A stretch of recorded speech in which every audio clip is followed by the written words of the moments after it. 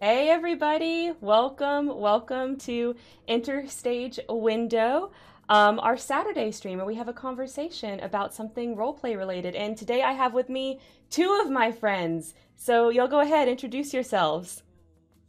Well, Rock, it's paper, your, scissors. Oh wow! You go ahead. You're the guest. You go first. uh, I'm Kendra, here to talk and be validated. yes, yes, we're here to Yep. validate you, Kendra. Yes, All that is why I come here. yes, and who else is here today?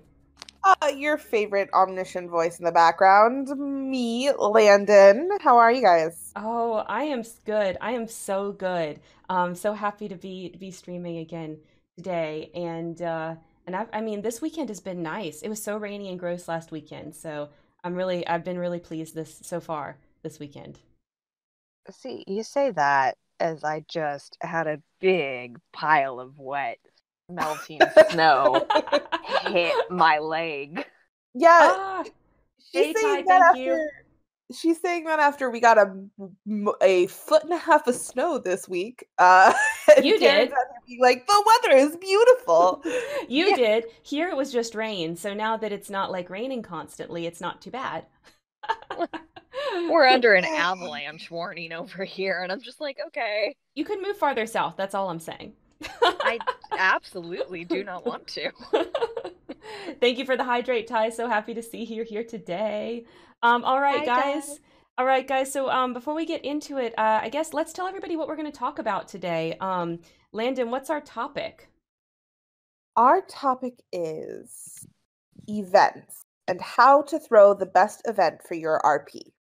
Yeah. Because even if you're in denial about needing events, every single group event and even one-on-one events are group one-on-one RPers need events. Mm-hmm. Mm-hmm. I would say It even tabletop. happen. even tabletop well i'll talk about that later but i think no matter what kind of role play you're running like it doesn't matter you need to be doing events that is how you keep longevity that is how you make your role play last so we're going to talk So about that today yeah, we're going to talk about the difference between because last week we obviously talked about plot a lot of the time, and so we're going to talk about like what the difference between an event and a and plot drop is, and and all of those important things. Why to do events, how best to do events, and um how we personally as a mod team do events. yes yes all of So- that good stuff But before we talk about all of that, Ms. Karen Terry, can you tell me what your favorite thing of the week is? Okay, yes, I can. And I actually want to show you guys something first. So I added something to the stream. So I know a lot of you guys um, are here basically because you love me, and that's really the main reason. So if you ever want to come just to support me, but you're not really like watching the stream or like engaged, watch what you can do now. I showed this off Thursday, but I know a lot of you guys only come to the Saturday stream. So look what you type into the chat and oh now i know. You're here but you're not really here. So um nice way to announce yourself without me being like hey and trying to talk to you you know? So you guys can do that on the stream now. Um i've also added a bunch of other fun stuff in the channel points. Please check those out. Okay for real now favorite thing. Um okay so i'm so glad Bree is here because i told you guys last time Oh, Landon, you're such a liar. You're not lurking, you're on the stream. I Well, just she's wanna got a be left- troll. I just didn't want to be left out. Stop, stop judging me Uh-huh. like that. Okay, okay, I won't Yeah. judge you. Um, so Brie, I'm so glad you're here because I told you guys my deep, deep love for um all dressed chips. And we have not been able to find them for a long time, but look at what my husband brought me from the store today. This, okay? If you love snacks, you have got to try these chips, okay? They're the best chips ever. Look. We call them Canada chips because look, number 1 in Canada. Okay, these things are delicious. I'm not going to open them right now because I don't want to get chip stuff in my teeth before I talk a lot on stream. But you best bet I'm going to have a whole bunch of these after stream. I just my favorite thing is that I love how much America is just like it's maple syrup, so therefore it must be Canadian. Canadian. but it's not like it's not really maple syrup. Okay, so I'll read you what it is. Okay, I bet you're wondering what all dressed means. After all, in America, it just means you're wearing all your clothes. But in Canada, All dressed Oh actually my- means delicious, ridgy chips that somehow taste salty, savory, and sweet all at the same time. Sound good, eh? And it's not lying. That is exactly what they taste like salty, savory, and sweet all at the same time. It's crazy. It's the A for me. It's the sounds good A for me. Bree, It's the in America, all dressed means you've got all your clothes on. For me. I feel like it's a chip mansplaining something to me. That's what that's what yes. to No, no, the you- fact that that chip was. I guess because I don't have a Canadian accent, it doesn't sound like all nice. But I, but imagine I read that in a Canadian accent, so you feel like you know, like very soft and warm No, about it it. still feels No, mansplaining. no. It's. Nobody can make that sound nice. I don't care if you're Idris Elba. That will not sound nice. oh, It would it would sound condescending but international. Oh. Uh, hey Naomi, so happy you're here with us today. Um, so yeah, that's my favorite thing. They're freaking delicious. Brie, try refreshing the stream if it's doing that for you. Um, that might help. Uh, so sorry you're having the the bad internets. Landon can commiserate with you. She used to have very very bad internets. You know, they promise better internet and then it's like not actually better internet. oh, it's like that sometimes, isn't it? Although now I can actually officially watch the stream, so it is slightly better internet. It's just not good internet. Yeah, so it's like it's not horrible internet anymore, right? Yeah. Eh, I mean, does that matter though? If it's bad, it's bad. I mean, Eh, before I- like she could do, there was so many things that she couldn't do at all, like period. Yeah. Like I could Erica. watch the stream on Twitch and also be on the stream. Yeah, it was It too much. She could do one or the other. She could not do both. It was so And annoying. it's not my computer because my laptop is brand new and beautiful. So what it's not my computer processing, it is literally my internet. That's so weird. All right. Well, while I get the game going, um, Kendra, why don't you tell us your favorite thing this week? My favorite thing is my coffee order from my local coffee stand.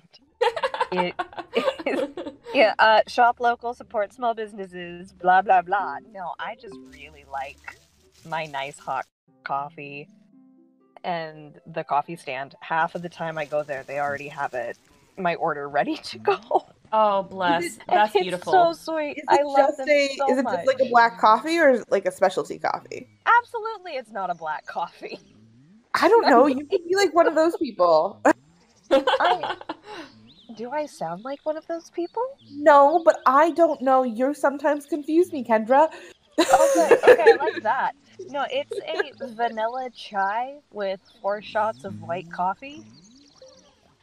Oh, that sounds so good. That sounds so good. It's I want one. It's like a hug from a childhood friend, oh. is what that tastes like. And I just, I love the way that you said that. That you're just like it's from a childhood friend, and I can feel it. I was like, yeah, oh, I feel it too. I'm like, ooh. Aw. yeah. that is my one talent: describing things uh, with completely unrelated phenomena. Oh, you but it's so real writer. though.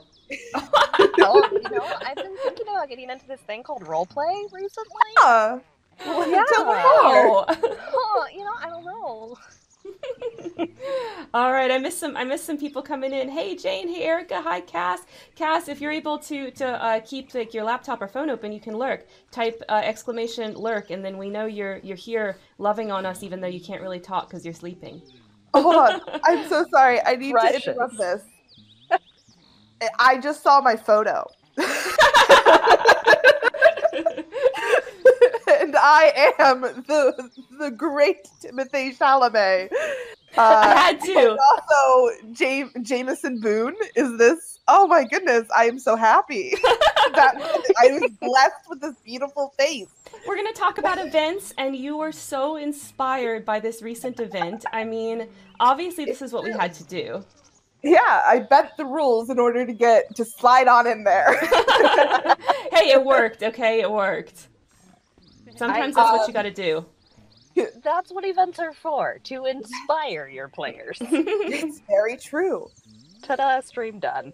Um, All right, so Kendra's Kendra's local coffee. That's yes. So, Landon, tell us your favorite thing.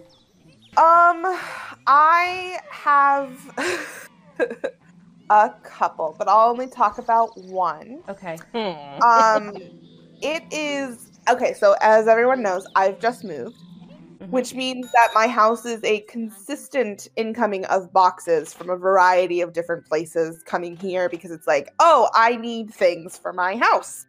Um, Yeah. that I Since you own it now. tiny, crappy apartment. Who knew? so sometimes there'll be like just boxes that show up, and I'll be like, I have. It feels very much like Christmas because I'm like, I don't, I know I paid for all of this. Don't know what it is though. Bought too Um, many things. Now it's a surprise.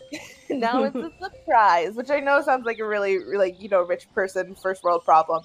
But uh, one particular box arrived that I had not forgotten that I had purchased, but it was not for my house, so I was very surprised about it. hmm And that is a box of Thin Mint cookies. It's actually a box of five packages of Thin Mint cookies. Oh my God. the next six months.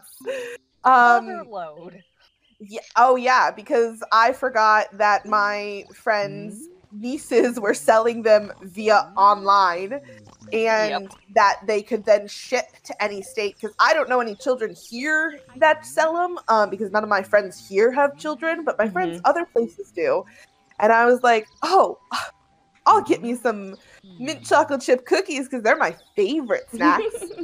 Um, and so then a box of just heaven arrived, and that is my favorite thing that happened this week. I love that so much. I'm Yes, so Jane. jealous. One go- one is currently in the freezer.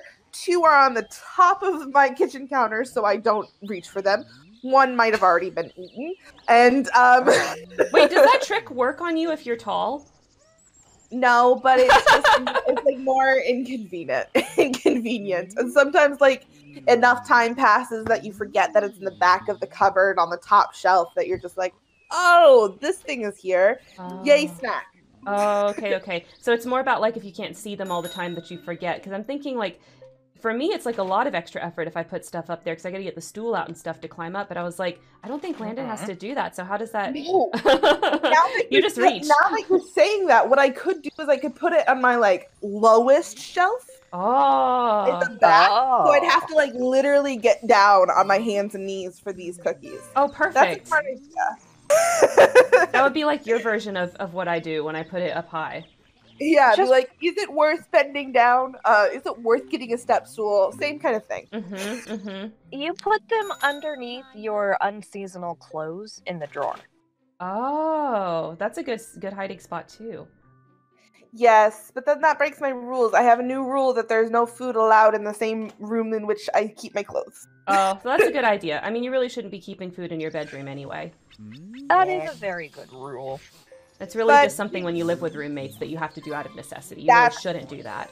I'm like, once if a roommate moves in, or if I, you know, eventually have other people living with me, then that is something that I probably will continue to do. I'll Mhm. be like, no, you monsters can't have my thin mints. But until then, Those- it's just trying to hide it from me, and it really is. That's like a whole thing. yeah, yeah.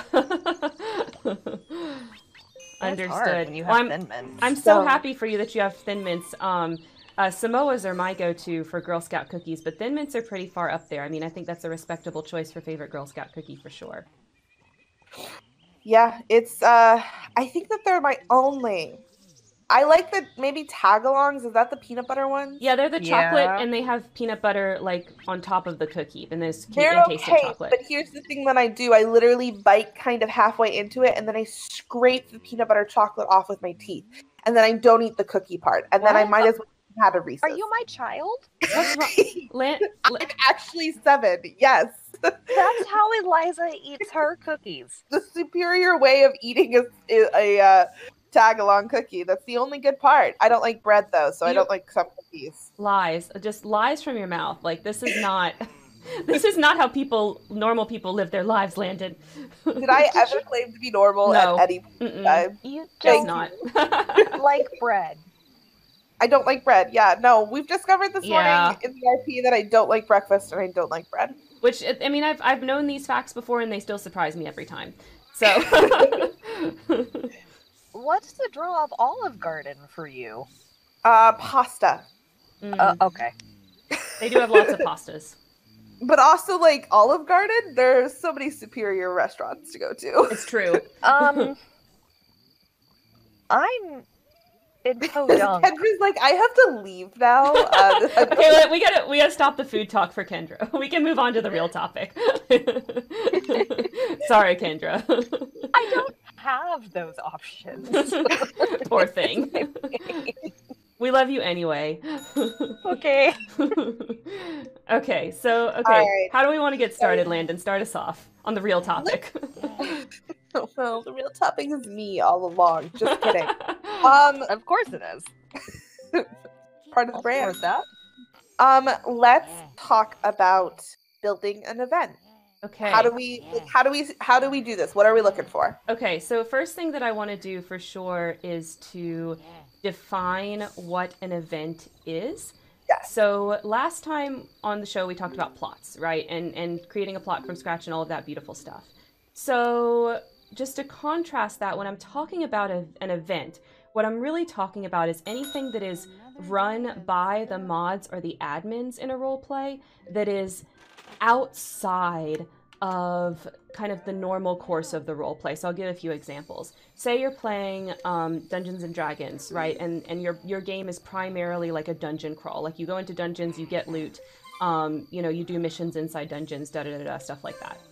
An event in that game would be like, okay, guys, um, we're going to go to a masquerade ball next session. And that's what the next session is about, like something different, you know? Or like, hey, everybody falls asleep and we have this dream sequence where now you're all Pokemon trainers, right? Like something that is not go into a dungeon, kill monsters, get loot, because that's your normal game. So this is all relative to your normal game, right? So if we're talking about like a text based role play like we like to do, it's going to be something where it's like the mods and admins set up maybe a plot drop or something of that nature that the players don't know is coming. So all of a sudden they have to adjust all of their writing and plots that they're doing to what you've dropped in their lap. It's just something that they've set up that's outside the normal course of the gameplay that's meant to kind of refresh and reinvigorate everybody in that's in the role play.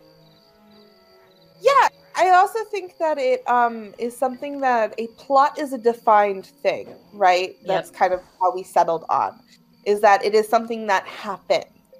It is black and white and done. And yes, the way you get there and how you decide to do it and how do you react off of that is all the things that you don't that aren't controlled and aren't defined. But a plot is defined. An Mhm. event isn't.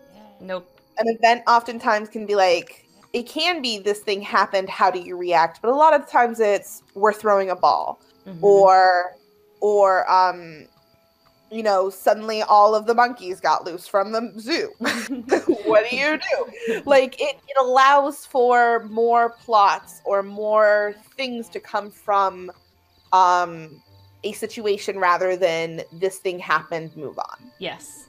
Yes, bingo, exactly. I think you can all it also there's an element of optionalness to an event. Not always. Like sometimes we have events where the way that they're structured you end up having to participate, but they're they're not the main plot. And so if someone is busy and they can't participate right then, it's not going to like destroy everything for their character to where they can't come back and uh, and and still engage with the role play, right? yep exactly Yeah. Whereas a plot, it's not really optional. You have to engage with it. it's the Yeah, I- basis.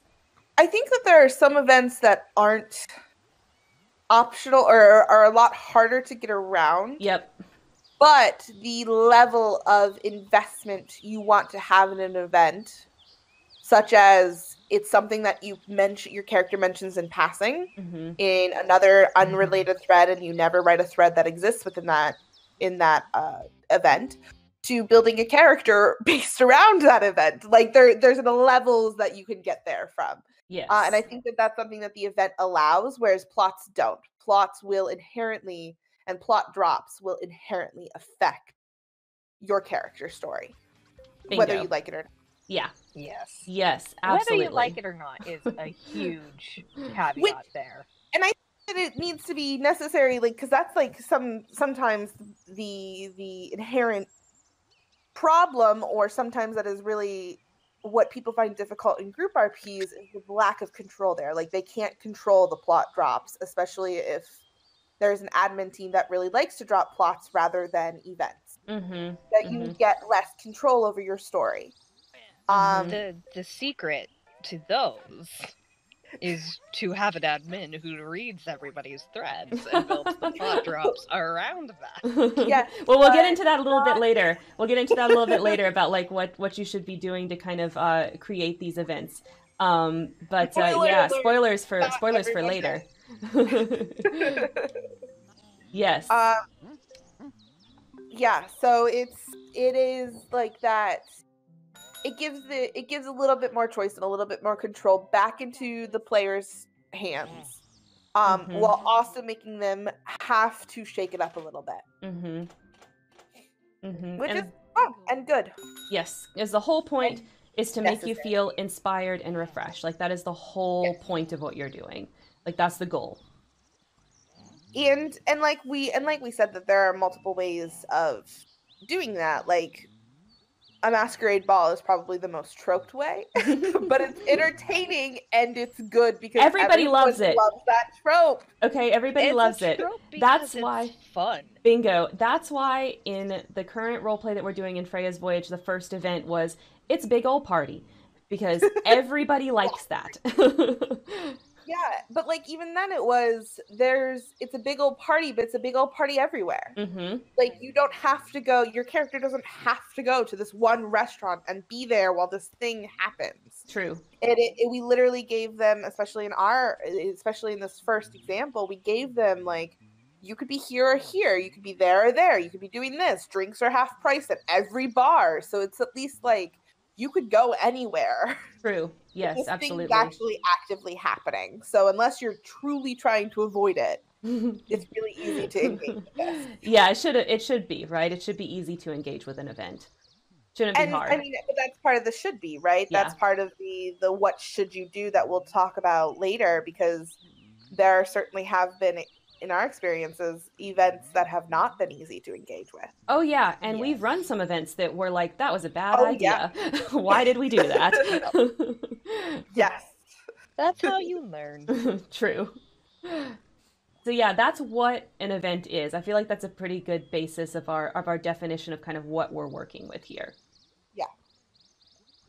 Um so I guess our next step would be when is a good time to have an event and why is a good time to have an event. And I know we talked about like shaking up plots and, and getting inspired, but like what does that actually look like? Yeah. Kendra, And do you want to go first on this? I was actually going to say I want to hear your reasoning again for the schedule of events that we have Ah. in Freya Okay. because I love knowing just like as a a player, I love knowing that okay, on the first Wednesday, something is going to happen. Mm. Okay. Okay. We can talk about that. So part of me realizes I part of me questions though if uh at least in RP if people have picked up on that or if that is just Well, somebody- somebody well asked. No, somebody asked, and I told you, and I told you guys um, that that was the schedule. I I don't know if Yeah. everybody was paying attention to the chat when that happened, but someone like lit straight up asked, and I said, "This is how we're doing it." Yeah I didn't know if that was a it was in the mod chat or if that was in the um group chat Oh, I Seen thought it was in in a the couple different places. it might be but I was, that was just my curious that I was like how who's picked up on that or is it just us to know Or is Kendra giving away our secrets?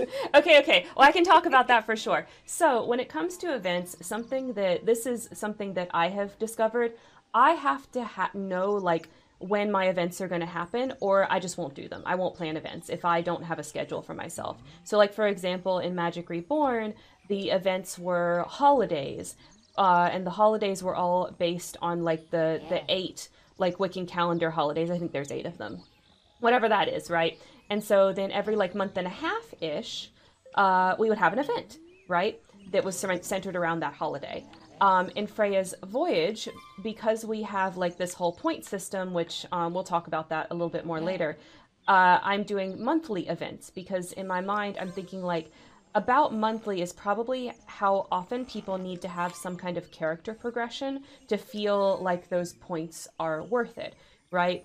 Um, when I have run tabletop games before, events happen when a player can't show up and, and we don't have a good way to write them out of the current plot. Okay, then we'll do an event so that they're not missing anything, right? Um, Yeah. So so that's so for me, the schedule needs to make sense to what the role play is, but you have to decide something because if you don't like what's what i did in atlantis which made it from my perspective not go the way that it should have um, i never i never created that and so that just meant that events didn't happen i just i just didn't do them um, so you have to have some kind of metric in your head of when you're going to do your events and it has to match the goals of your role play Yeah, and I think also if you go into it with the mindset of we will have events when we need to have events, then you won't ever have events be behind. not and not even that you'll never have events because even if you do have events, there's already an issue, right? yeah you wait until there's a problem They're slowing down and need to be re-engaged. Uh-huh It's so much harder to re-engage someone in an already developed story than to keep them engaged. Yes. Whereas if They're- you have a that, like- schedule and they know something's coming at certain Yeah. times, then they're going to be excited. Or even get to the point where they'll they'll never be bored. Yep. like or even get to the point that they're not even looking forward to the next event. They're just they're writing it out and they're there's no lull. hmm um which i know like after a while um when when our p's go longer that that will happen no matter what. You'll have a lull um between events no matter what no matter how close together your events are. Hmm but especially up front in the beginning um being able to have a schedule thing that is a good that flows well with the rp is an important way to keep keep players engaged. Hmm hmm And that's why we're doing it. The whole point of events is to increase engagement. Because the thing is, is everyone to some extent wants their hand held. And I'm not saying that you should be holding your players' hands. I mean, we've talked about that type of thing in, in various other topics. You shouldn't be doing that. But that doesn't mean that you just let them go and think that they're going to do everything by themselves. They will not. They will go away and find a mod that will help them along, you know? well and that's the thing too is that if people wanted to be in charge of their own stuff like a story and and plot and all of that they would be modding their own rp Uh huh. Yeah. Or they'd be, Or or they they'd be doing be one-on-one book. Yeah. yeah uh and so they they're not yeah so just letting them go they don't inherently by being a part of a developed rp they don't want to have that responsibility and power Yeah. um They've chosen that. make it clear that they eventually want to join the mod team, maybe, but even then, that's you know its own thing. Um, it's just the, the draw yeah. of an RP is the collaborative storytelling Yep. for Yeah. most people. And you cannot have a collaborative storytelling experience if you, as the mod, are not helping foster that environment. Yep. yeah, and, and inherently, it's your job as the mod to make these decisions. Mm-hmm. Like, and and that I know sometimes for some people it'll be like, but I don't want to make these decisions. I just want to be a player. Well, you're not. You're a mod. yeah. Too So, late. Yeah. You picked Um, the wrong thing to do, friend. yep. If that's how Yeah. you feel, you should be joining other people's role plays, right? You shouldn't be making them. Yes, exactly. You should be joining other people's role plays, which there's no like there's no shame in that. There are people who just want to be players, and that's awesome. Yeah. I don't have the type of patience for that. I'm not that kind of person. Uh, I like to have by patient, I by like patient, she means she has control issues, but we love her I anyway. have- we've talked about this. We have. I am aware. And everyone else does too. That's why we're writers. That's true. Anyway, Yeah. But yeah, if somebody doesn't want mm-hmm. that aspect, y'all are 100% right. They're going to be Yeah. writing a book by themselves. They're going to be one-on-one role playing. They're going to be running their own role plays, right? Like all they're going to be doing s- one of those things. They're not going to be a player joining a role play, right? exactly. yeah. and there and that's just the reality of it so when it comes to events knowing how to like keep those players still engaged but also making it so the mod team isn't doing all of the heavy lifting to keep the plot moving forward i think that's Mhm. also an important part of this balance Yes. as far as the when and the why you don't want to feel like you have to plan an event every single weekend in order to keep your players entertained um, or engaged. Oh yeah, yeah. If it becomes that extreme, you've got some other problem. Your players shouldn't be needing like that level of commitment from you. Uh, But like that sounds yeah. terrifying. Yeah. but I guess I guess in a way, like I'm ex- I'm kind of like referring to that as also as like D and D. People get together in D and D and and they'll play for hours, and especially there's that kind of role play where everyone's online online at the same time. hmm And if all of a sudden every Yeah. single weekend you need some sort of storyline that you're modding or basically being a dun- dungeon master for, um, that can get exhausting, especially on text-based roleplay. Yep. Well, that's why I think a lot of successful D and D groups that actually end up playing long term, um, you know, it's not one dungeon master the whole time. I mean, some of them are, and, and some people really love being dungeon master, and so they'll just do that the whole time. But what I actually see being really super successful in a lot of tabletop groups is like um, sometimes someone else DMs. You know, sometimes there's a guest DM, or sometimes it's like, okay, well, this this uh, another person's going to do the next campaign or whatever. You know. Yeah. Yeah, and I think that that, that helps, and that's Mhm. good. Yes. Um, but when coming to events, sitting there and, and knowing that good balance of when is enough enough, and not too much, and not too little. Mm-hmm. Uh, and like you said, Karen, it differs for the RP. What worked for for uh, Freya's voyage would not have worked for um, MR for No. Magical Reborn. Mm-mm. Um, and and and it wouldn't have worked necessary for uh, LL, LOOH or any of the past RPs that we've had. Um, and it wouldn't have worked for you know even one-on-one role, role plays. So it No. really is independent and individual to each RP. yeah. each. So we're going to keep mentioning Freya's voyage over and over in this. So I just want to kind of explain we're doing a bit of a different event system than what I have done in the past. So I don't have any content that explains it. So I just want to kind of put this out there. So we have added into this role play for the first time. We've added in some like mechanical character progression. So what that means is that um, if you participate in an event, you get a spell point, and there is a rubric. There's like a, a spreadsheet where, depending on how many spell points you have, your characters can gain new spells. Of course, there's magic in the roleplay. 'cause it's one of my role plays. All of them have magic, right? um, this is just a thing. Uh, So, so we actually have a little bit of character progression built in, and that's why they have to be as frequent as monthly. Why we can't do them more infrequently. Even though, do I really think that my people need inspiration every single month? Like, no. But when we promise them character progression, we have to be a little bit more frequent than maybe if we didn't have that. If we didn't have that, we could probably do like, I don't know, every other month or something, and y'all would be fine. But yeah. I Yeah. just threw the rubric. I just threw the rubric in the um chat just so in case people were curious on the breakdown. Oh yeah, yeah. If y'all want to see a visual of exactly what I'm talking about, that's the spreadsheet right there. That's the image that Landon just linked. Um, which is a different. It's a very different way of doing it. We're obviously not the first, and I know um D and D definitely has some sort of the the mechanical character building aspects to Oh yeah. to creating spells and gaining spells and grading powers. But it's been really interesting, and I really have been enjoying it. Yeah, it's been Uh, really fun so far. the two months that we've been doing it, but it's been really it's been really interesting, and it makes it makes characters also and people think long term, Yep. yes. um, which I also really love because for a very long time it has been very much like that month to month, next event to next event, or or not really thinking long term as a RP mind in general. Like Yeah. we'll have players who are thinking long term, but because there is this like, oh, I need three spell points in order to get a fourth spell or whatever, um, or third spell, then sitting there and being like, okay, how do I get there? What am I going to be doing? What am I going to want with that spell? Like all of those are very long term thing that things that a lot of players are thinking. Yeah, absolutely. Yeah, Bree's saying that that she's that she loves that. Hey, Sasha, been a minute since I've seen you in the stream. So happy to have you here. Go ahead, Kendra. Sorry. I, I was just going to say that the level of creativity and forethought that goes into because part of the mechanic is you have to apply for a spell where Yeah. you name it and you describe what it does. And I would have never in a million years, for any reason ever, thought of about 90% of the things that people have submitted. for so spells. cool. They are amazing.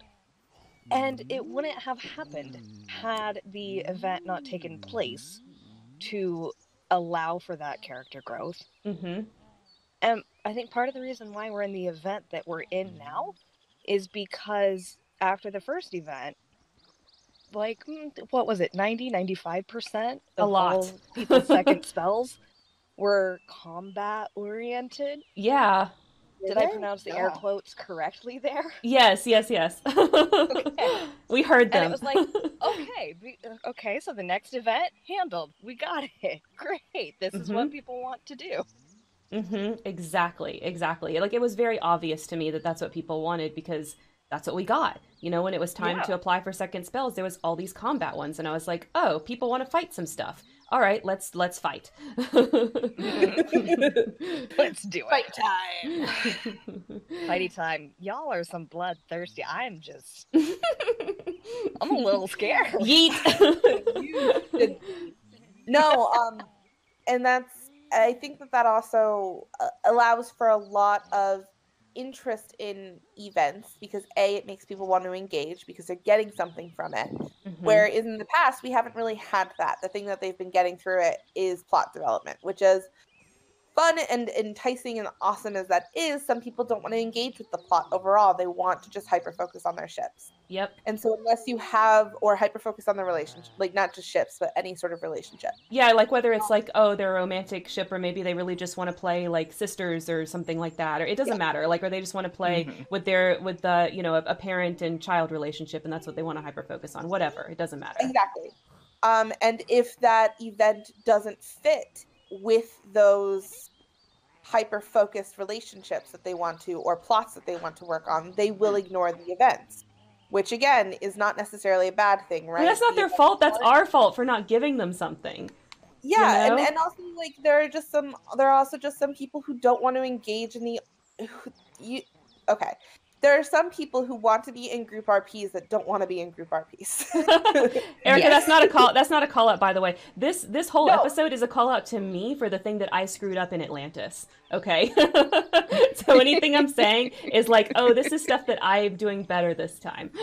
yeah trust me i have way better ways of being passive aggressive call outs than on here it's fine um, if i'm going to call you out i'll call you out by name um, but no i think that uh, it's there are some people who don't want to engage in events which Mhm. again is fine because a it's our fault for not making an event people want to engage in but also because that that's what they don't want to hyper focus on yeah. but um it what this new system does is that it allows for people who are even hyper focusing on those relationships and plots to be able to want to engage in it because they actually gain something other than plotting from it Yes, exactly. um wh- and before like we've done that before we did it a little bit with uh there was an event in um atlantis where we had like a prize giveaway um where a raffle or something that that that uh, characters actually got something in character or something and people engaged with that a little bit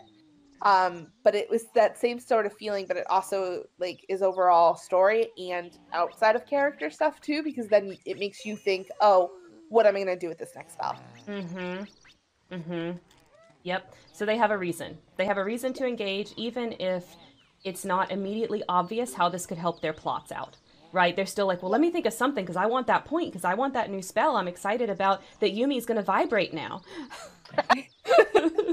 is that her next one and vibrating I Or, like, really, really want it to be.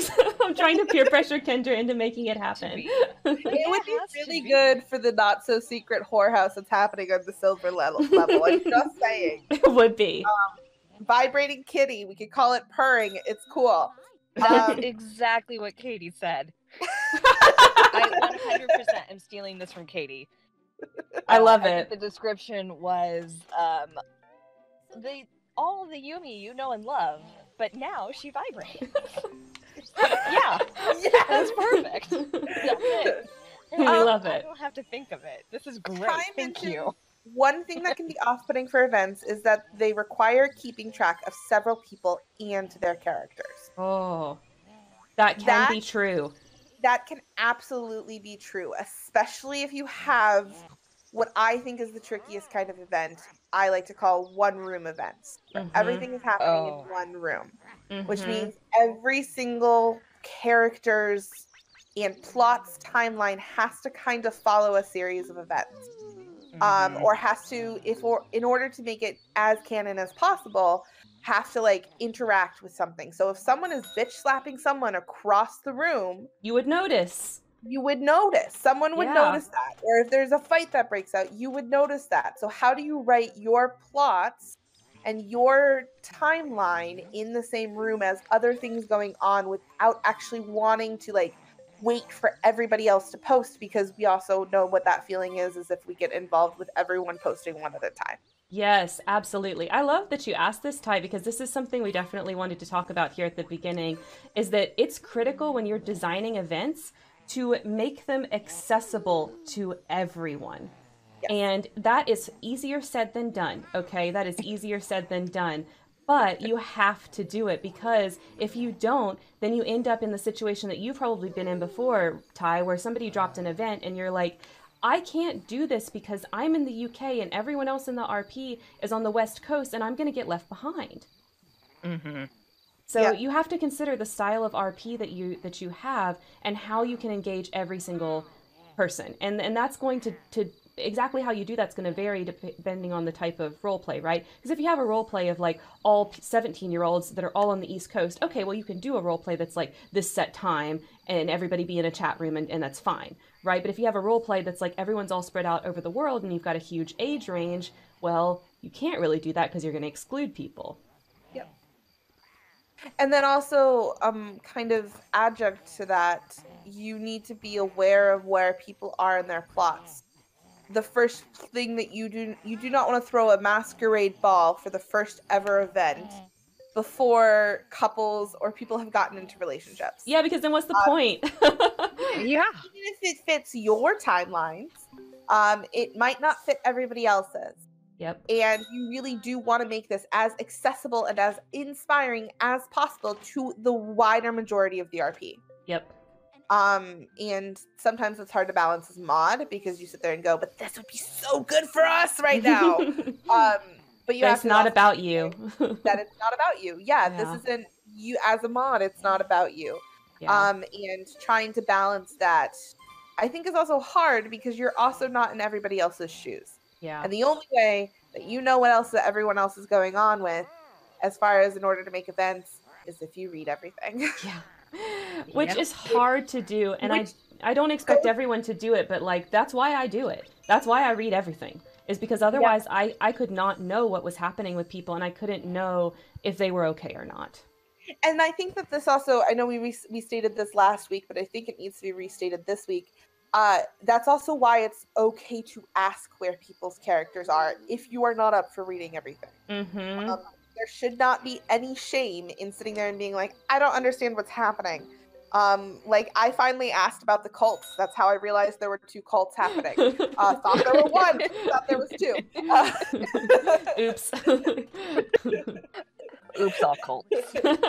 Um, but being able to have that like sitting there and being like what is happening and asking as a player as a mod person to sit there and, and have an understanding of what is happening in your rp is necessary if you're going to do events which you should be doing yep. Even if you are reading everything, being able to, out of character, hear and see how the players are engaging with their plots and how they are talking about their current threads is Mhm. very telling. Mhm. Absolutely. even before this dropped, there were a lot of people who had been um, itching to use their cool combat oriented stuff. And they were going to find a way, one way or another. Yep. Yep. Whether we gave it to them or not, it was going to happen. yes. And this provides a really cool way for both to happen, I think. I'm definitely waiting for a couple showdowns between player characters. Mhm. but they can perfect their techniques and how like they're thinking about it what they want to do with it before they go and fight each other they can fight some rando pirates Yes, absolutely. So, um, Kendra, let me ask you this because I know that you are somebody that's um that's very busy, you know, you're a full-time mom and that sort of thing. So, how do how do you keep up like knowing what people's what plots are going on just with the the idea in mind that you often don't have time to read everything and yet you still pretty much know what's going on. So, I would love to kind of get that out there. Like how do you do it? I stay active in the out of character chats. Mm-hmm. I am making myself because I know that this is where I have problems in RPs. Is I I go quiet in out of character spaces, Mm. and then I lose interest in the RP as a whole because I forget how to insert my character into the plot. Mm. And you've neglected those relationships, those out of character relationships. Yeah, I've neglected mm. those out of character relationships, and I do not have time to read everything. I skim a lot of it, but not all of it. So I I like to and there are some players in this group that go so fast. So much. They're excited. It is so impressive. But it's also like I don't even know how I'm going to do this. Hmm Very daunting just to look at like oh my gosh, there's been 20 replies in this one channel between these three people. What is happening?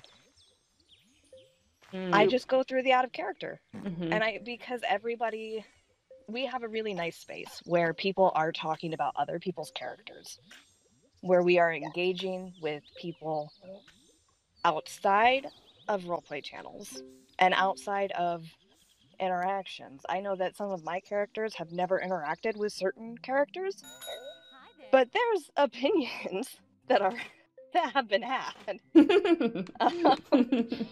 um, i'm looking at leonie and her uh, tooth really is um Uh-huh. We love that. we love that plot point. I love that plot point so much, but I have OTP. oh gosh, I have no reason to interact with this character right now, and partly because Jane has taken on like 50 scenes at once.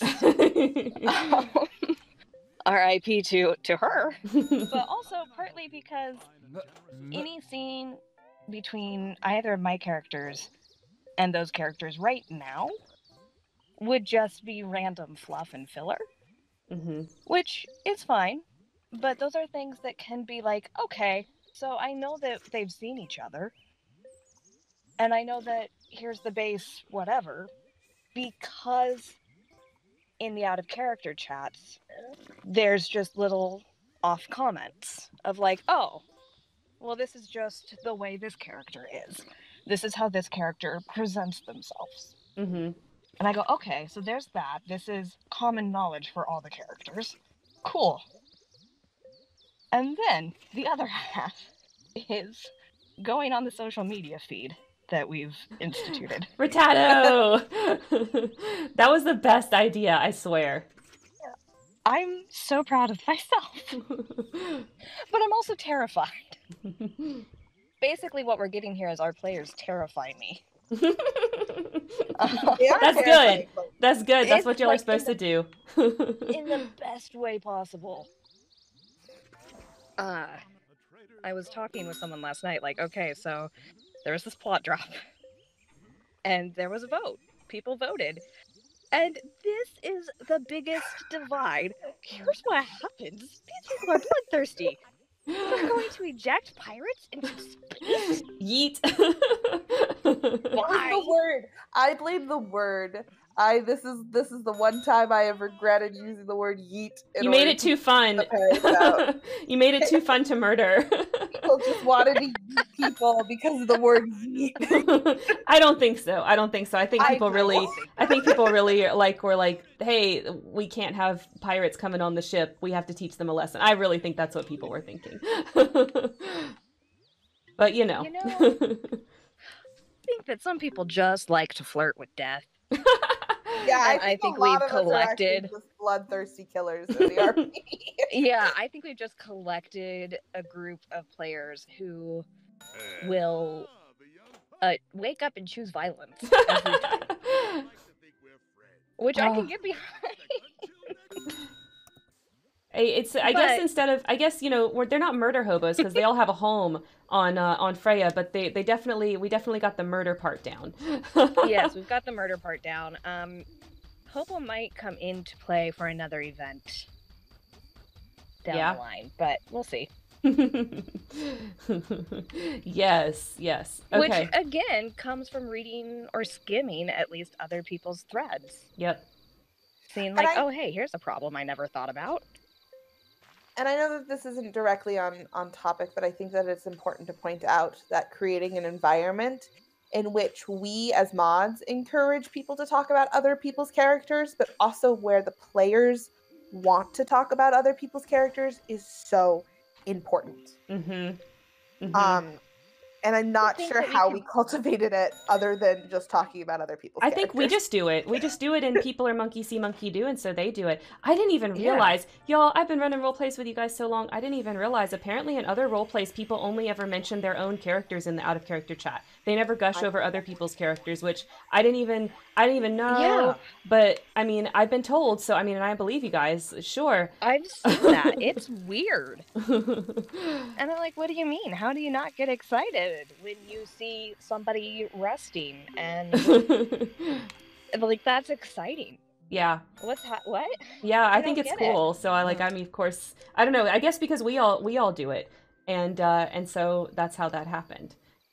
Yeah. But I I would go back because Landon, you said that it's not directly related. It's directly related. Um, because there's no way for people who maybe they're like me and they don't really like to be super active in the out of character chats. If that environment isn't fostered and taken care of, there's no way that these people would participate in events. Mhm. They would have no idea what to do with their characters. Yeah.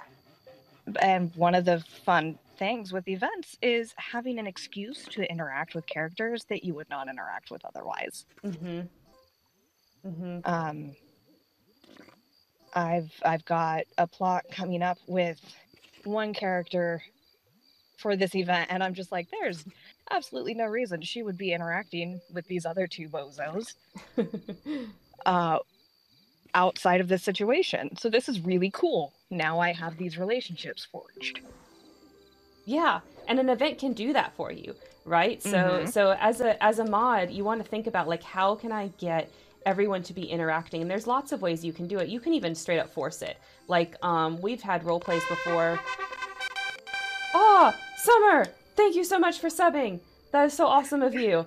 Um, uh, we've had okay but what was i saying? Oh yeah. We've had um situations before where um where we've like paired people off for an event like we used to do this in LOH all the time. It's like, okay, this is a battle, and we would like assign people who they were fighting in the battle, and it would force them to create connections with characters that they previously had no interest role playing with. You know?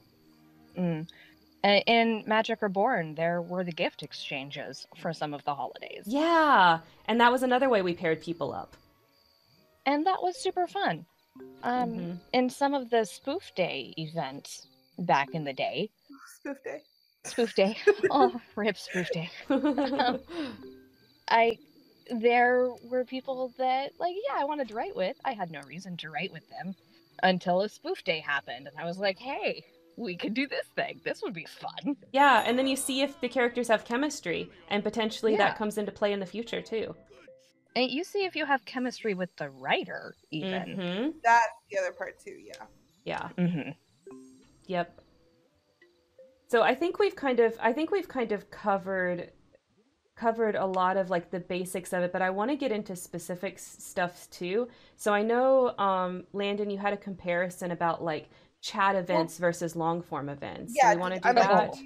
Really very quickly, that was something that Kendra had mentioned too, that the difference of kinds of how our events have been have run Mhm. has changed, but also how because we've gone from at least I think all three of us started in like chat based RP to now Mhm. long form RP. Mhm. Um, Yep. that sitting there and being like, okay, how did how did events change through the ages there? Mm, yeah. Yeah, go Back ahead, in Kendra. my day, yeah, go ahead, Kendra, if you had comments on that. I just re- like I think now trying to get like a D&D group to meet regularly and that struggle between four or five people. And I remember back in the day, the early days of trying to get 30 people in a Chatzy Oh at once. Those were times, weren't they? They were. I eh. remember paying for a Chatzy membership so that we could have unlimited people in there. Oh my god, you were the one that paid for it for your group? I was the one that paid for it. Oh for my god. group. And remember there was like no post order, so you just had to type out as fast as you freaking could. if you wanted your Oh, character to be able to do anything. Oh, Um and you all had to man we had a couple of australians in this group Oh wow. so we were like going hard on how can we all be online at the same time Oh, when is this okay i'll set my alarm and it was and we did have those like masquerade balls we had charity auctions we had weddings that would happen in real time Mhm. and that was very fun. I will never, ever, ever do a real time event, probably again. well, I mean, also your life. life has changed. Yeah. I mean, That's changed. why, because my life has changed, and that I just can't do that feasibly, and I cannot commit to doing that on a regular Mhm. basis. Yeah, it was no problem when I was like, you know, in in high school and college to set an alarm and say like, well, I'll just wake up at 5 a.m. this one day so that I can do this this RP with my New Zealand friends and uh, and no problem. Then I'll just go back to sleep before class, whatever. Yeah, not a big deal. But now, like, I'm gonna be 30. I I have a toddler. I have responsibilities outside of character plot progression. Yep. Can't do that. Mm-hmm. Would I like to one day? Eh, I mean, maybe. In a smaller group, not in something with Yeah. 30 people. yeah. Oh my gosh. Even even if we could make that work, 30 people would be too many now. It'd be way too many. I no, absolutely not. No, thank you. No, thank you. So now having the time frame where the way that events are structured in Karen's groups, you get a notification that an event is happening, and then you have to sign up for it. yes. Yes. And that is huge. So then one, you know who you can plot with. or who you Mhm. can be plotting with. And then you have until X date to get these starters up. It's fantastic. yeah, so I can explain kind of why I do that and why I think that this is the right way to do it for long form RP. Because first, people are all different time zones and different writing speeds, right? So you have to accommodate the person that wants to write every single day. Oh, oh, thank you for gifting a sub, Summer. You're the best. You're getting me closer to closer to getting the sub points. We can get some more emojis, and then maybe I'll have some motivation to actually hire someone to make some emojis for us. Anyway, back to the topic. Uh, so we have we have a sign up process with our events, and I talked about this like in a really really early video, and it's because I truly truly believe I truly believe that just the act of somebody saying yes I plan to participate gives them the buy-in so that they are like so much more likely to do it. Whereas if you just drop the plot, they might like say they're excited and be like this sounds really cool and I can't wait to do it. And then life happens and things come up and then they never do it. Right? But the act of having them sign up makes that far less likely. Now they've committed and everyone sees that they committed. So they're much more likely to actually go write that starter, you know, or actually go dive into someone's DMs and plot, or, you know, whatever the case may be. So signing up is important. Yeah, I important. never. I guess. And it lets other people come to you. Yes. Go ahead, Landon. What were you going to say? Oh, I was gonna say maybe because I've been in your RPs for so long, like I'm like I can't imagine not signing up. then I'm just like, do people just like, here you go, have fun? yeah, I think Yes. so.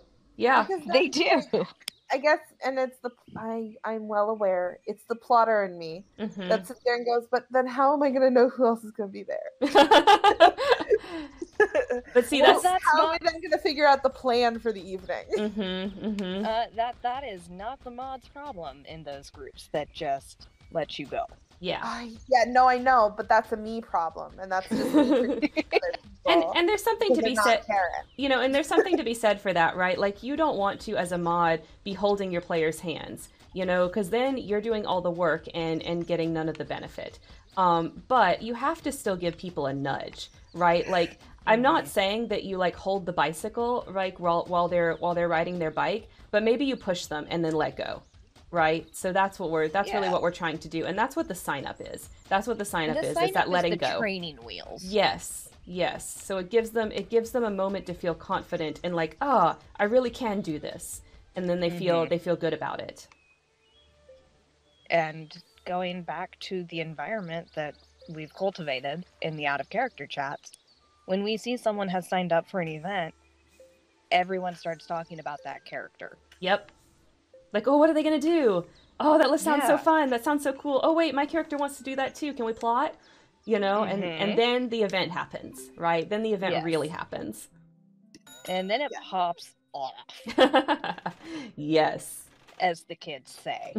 Or my favorite is too is when the um, hints start coming in the uh, out of character chat where like someone will be like, "Oh, something's big coming," and then I am not involved in that, and I'm just like, "But I, what's coming?" And then I'm just reading everything too. It gets me engaged in in other people's Yes. stories, which is good because you want to be engaged by other people Mhm. um and and having those moments of excitement build up is like oh man they're gonna do the thing in the place Mhm. and you want to be there to read it, Oh, yeah. right? and i want and i now know i have to look forward to it because god if i don't i'm Yeah. not gonna be on it but i love it if I miss it, I you know, then you get the FOMO, right? Like, but if I miss it, I'm not going to know what's happening.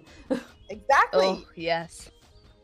The one time FOMO comes in and is actually useful. well, I think FOMO is very useful when it comes to hobbies. I just think it's not so useful when it comes to like real life because then it becomes like distressing FOMO. You know what I mean? But um, but I think a little bit of FOMO in regards to hobbies is, is a beautiful thing. In regards to that, I, I want to see X player's reaction when Yes. this other character does the thing to theirs. Exactly. I gotta see it. Mm-hmm. Mm-hmm. Healthy bingo. FOMO. Yes. a little bit of FOMO is good for you. Yes. Just just as a treat. Yes. A little bit. good for the soul I spent so much Um, so much of my money on that last farm. Sorry, actually like the game. I keep forgetting I don't have any money. In this stream, we grow many, many chili peppers. Sorry guys. I you know what? That's you can have a little bit of spice. it's okay. all right so we let's talk about so we talked about all these different kinds of events um and we've talked about the let's talk deep dive because i think we mentioned it but do we have anything more to say on the incentives of participation Um, so so just to make it clear, I feel like we've kind of talked around it, but I just want to like make it clear. There's there's two main incentives when it comes to events, and you should be thinking about what makes sense for your role play. So the first and obvious incentive for the types of role plays that we are doing is plot. Right, plot incentive. Your character is going to get involved in this event and it's going to change something for them, and that's going to be cool, and you're going to be able to build off of that and get inspired right? So that's like the first and and main thing and that should always be there for the types of role plays that we're running um, regardless of anything else. But a secondary incentive that you might have is like mechanical character progression like the the point system that we that we have set up and um, and I think that this is something where okay, you should probably always have it when you're talking about like more crunchy games, right? Like if you're running a, a tabletop game where everyone's like really crunchy, really into combat, really into that dice rolling, you know, then your events should it should always have some mechanical benefit. For example, cool piece of loot. Okay, this event, the ending of it, the party gets a deck of many things. If you've got a really crunchy uh, people that really like that type of that type of thing, um, they're gonna love that. That's gonna be a beautiful event for them, you know. So I think Terrifying. or terrifying, right? Uh, so I think you know, depending on the type of role play that you're doing, you have to hit at least one of those things. But if you can hit both, that I think is gonna is the gold. Like that's the gold right there. that's where it gets that's where it's the best Yes, yes. If you can progress the plot and make people feel like they were able to add some kind of development or ability or stat to their character at the same time so they feel like their character grew along with the overall plot that is the gold. That's what you really want. And i i think that it's easier to achieve than some people think because I think that's something else that happens with events is that we see people go overboard with them, or, or yes. bend over back backwards to try to either accommodate everybody or make it this big huge thing, and it gets complicated. Um, and really, at the end of the day, you are just providing a different form or a different place or setting or scenery for people to create their own stories. Mm. Mm-hmm. Um, and it doesn't have to, in an event, it doesn't have to be this over the top thing or this oh. overly complicated moment. Oh yeah. Oh, I've got a good example of that. We love if when there's a wedding, we love to make that an event. Um, you know, it's it's beautiful, it's great, and you and it's very easy to accidentally turn a wedding event into being just about the characters that are getting married. But it's so mm-hmm. easy to make sure that doesn't happen. Just describe yeah. the party a little bit. Everyone wants to go to a party, okay?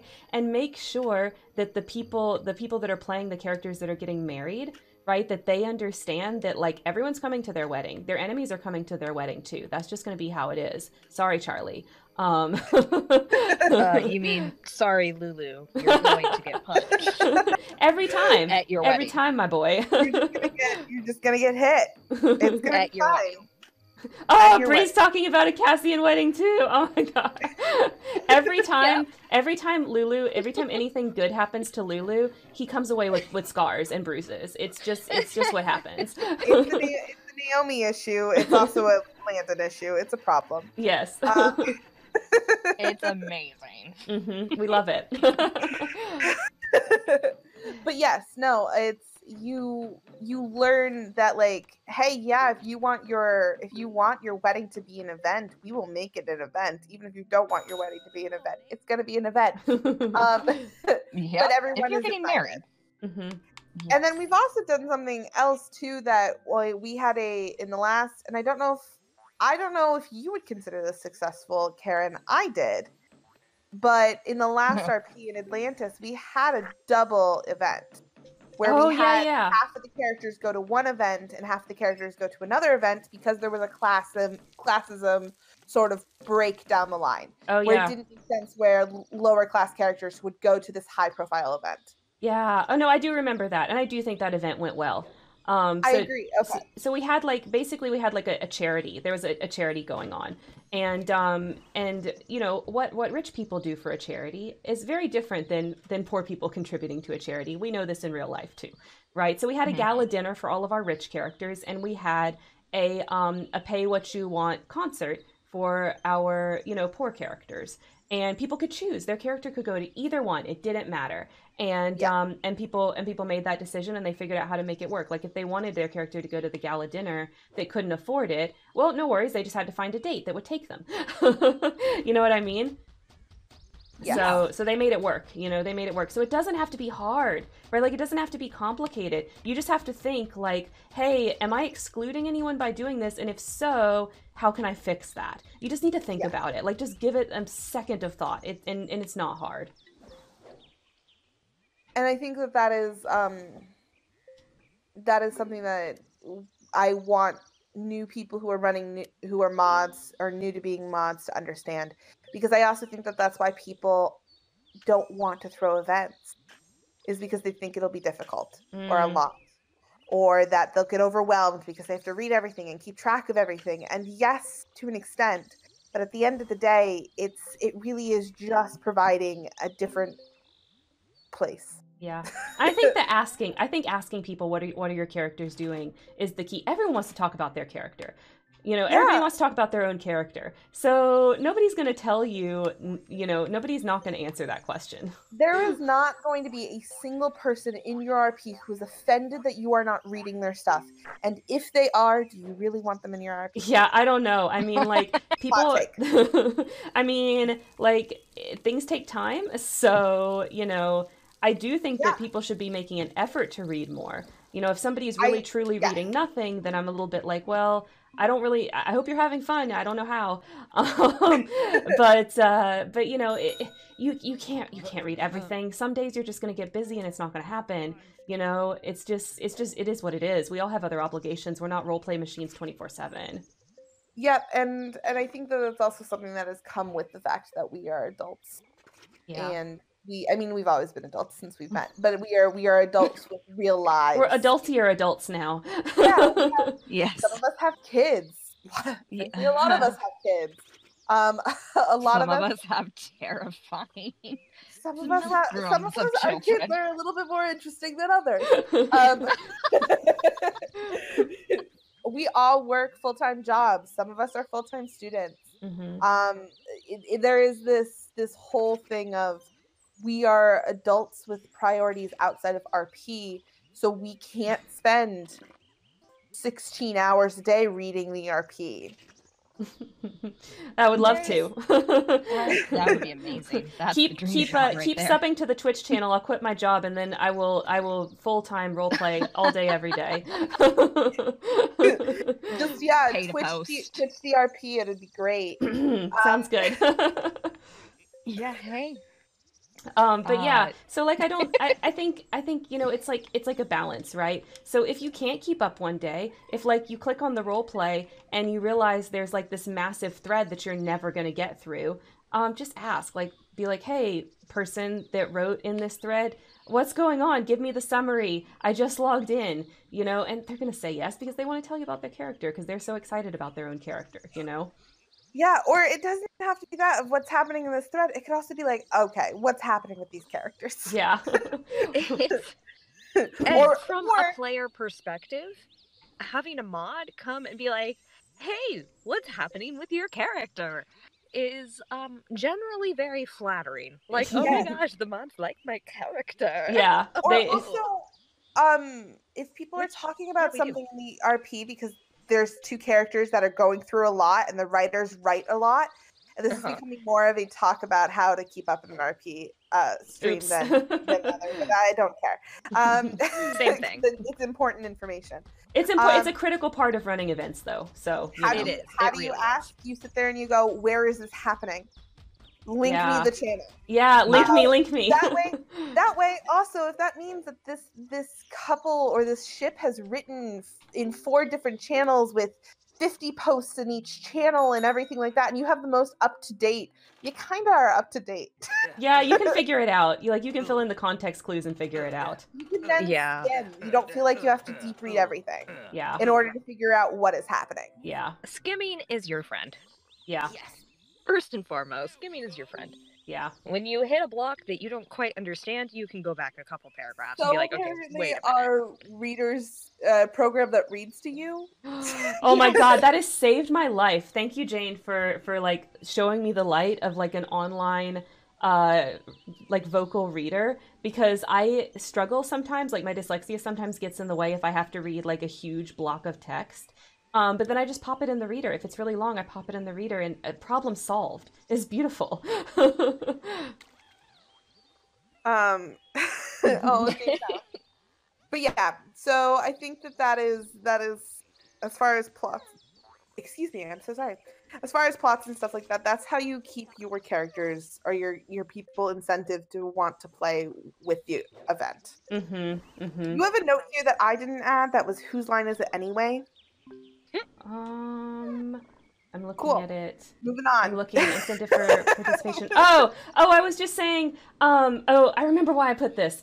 The points don't matter. Okay, so if you are gonna Ah. have, if you are gonna have points or things like that, like don't over. You don't need to over design it. Okay, you don't need to build your own functional like tabletop role play game for you and five of your friends. Like, I mean, if you want to do that, if you are a game designer and you want to do that for fun, go for it. But it is so not necessary. You don't need an entire tabletop system. You just need like a couple little things here and there because the points don't matter. It's just the fact that you're giving people points and the points do something. So like just don't don't over design it. That's that's what I wanted to say there. If you if you are going to make some kind of like point system for your events, don't over design it. It's not necessary. Yep. All right, that makes more sense. The points Yeah. don't matter. Yeah. I was That was supposed to be a note to myself to remember, and I read it just a little bit ago, and then I totally forgot what you know, as explained something else instead. Well, All right, so we've talked about real time um, events briefly. That uh, this is an event, sort of event where everybody logs on in the RP at the same time, or everybody who can logs on at the RP at the same time. And in these three hours, y'all go to a wedding. yeah. What is the opposite of that? The opposite of that is hey, the event starts. This is basically the opposite of I think it's how we run them. The event Yeah, starts yes. on this day. It starts on Tuesday. You can start putting starters up on Tuesday and uh, you have one week to do all your starters so you can you can start threads from Tuesday to Tuesday. After that, you can't start any more threads. Okay? So everything that started no more starters. But those threads that are that are started they can keep going for forever and ever if you want them to. That's okay.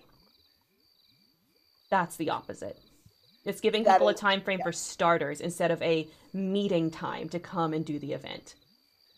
Yeah, and your starter, you hypothetically, your starter mo- time frame can be as small and as large as you want it to be. Yes. So it can be. I think ours is two weeks. Basically, I mean, you get like a week and a half the way that it a is right now. okay. Yeah. So yeah, because you get you get the Wednesday to the next Saturday. So not that that Yep. Saturday, the Saturday after that. So you Yeah. get a week and a half. Because you get a week to sign up Um, and then a few additional days after sign up to to finish up any starters you didn't do. Yeah, exactly. Yeah. So yeah, so you got you have all of that time, which hypothetically with with our how our um activity works in our RP, that means that guaranteed you've been on there. Like Mhm. you, you've been on the RP. Uh, it's very hard for you to disappear for more than a week and a half without us noticing. Yeah. Yep. if you some if you missed it, you probably got kicked out in that week and a half. If truly, because I don't see it would be it would just be Uh, really hard.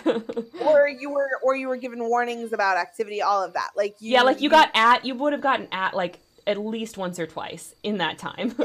it's a space enough that we know that we have we have lost you or that you're truly just not interested in the event hmm um, so mhm. that it, it gives us time and that's why i think that it is as long as it is instead of three days because i think that there were times where we did have three day signups right Yeah. that was magic reborn where it was like you have until saturday to sign up Yeah, and a lot Yep. of people ended up missing it. And since we have points this time, um, I don't think that's fair.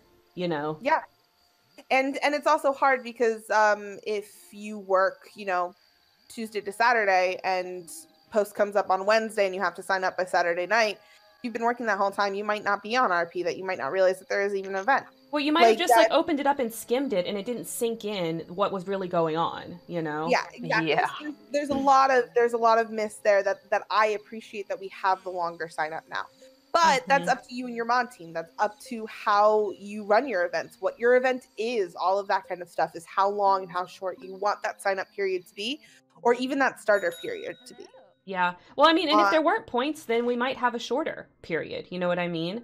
Um, because it's like you're not you're not missing out. You're only missing out on plot progression. Um, and it's not like you can't engage in that in other ways.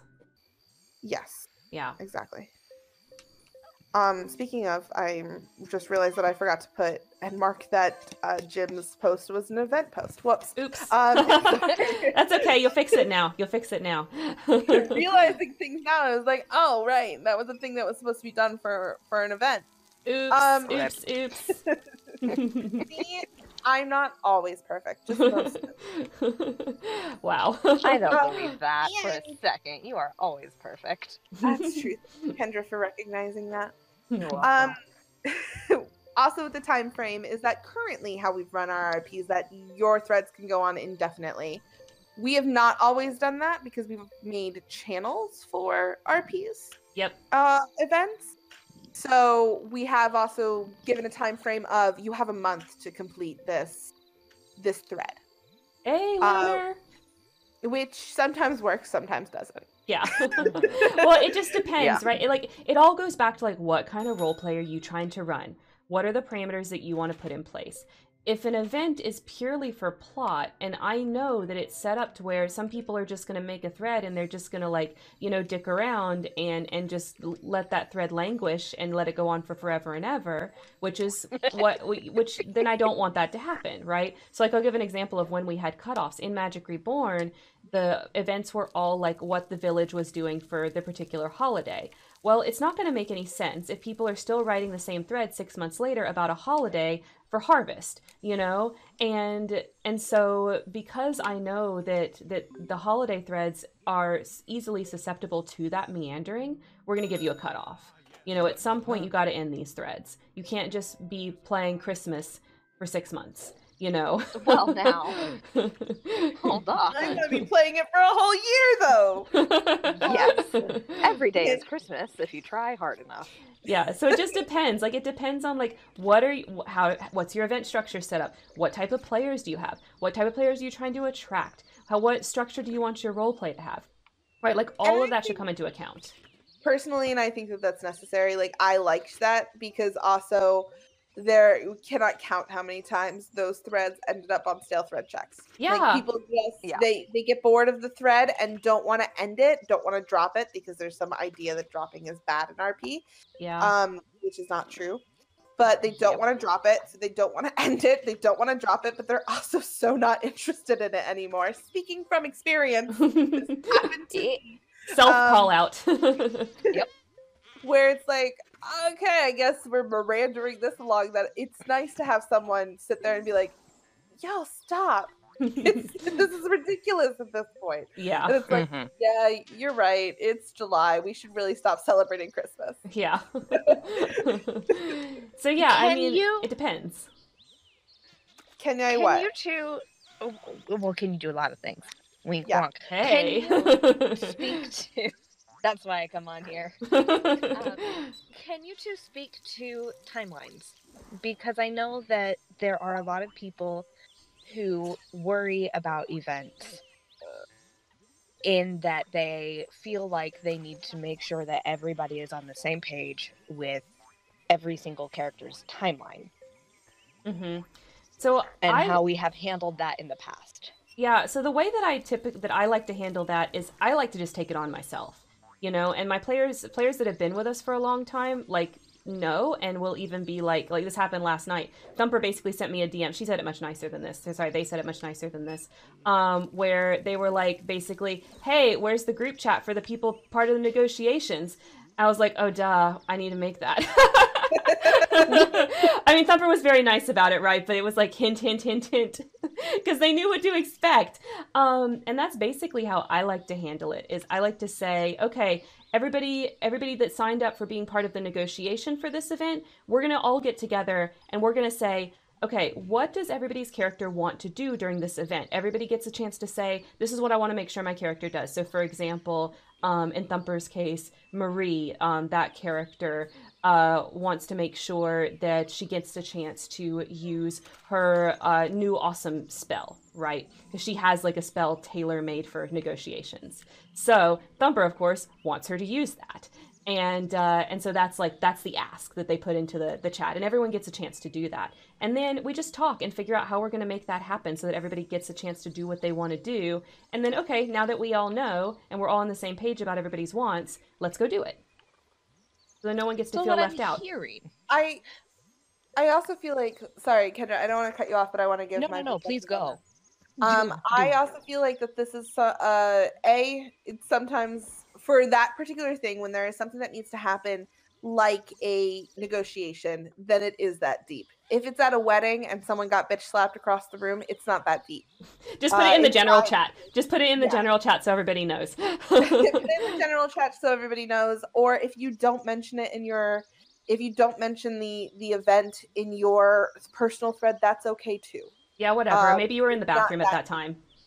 Um the other thing is is that this is also a point in time where you can let your plotter your plotters go wild. I cannot tell you how many group chats Naomi has been in in the last three days. Figuring out a series of events in which Yep. her character will knock down a wall.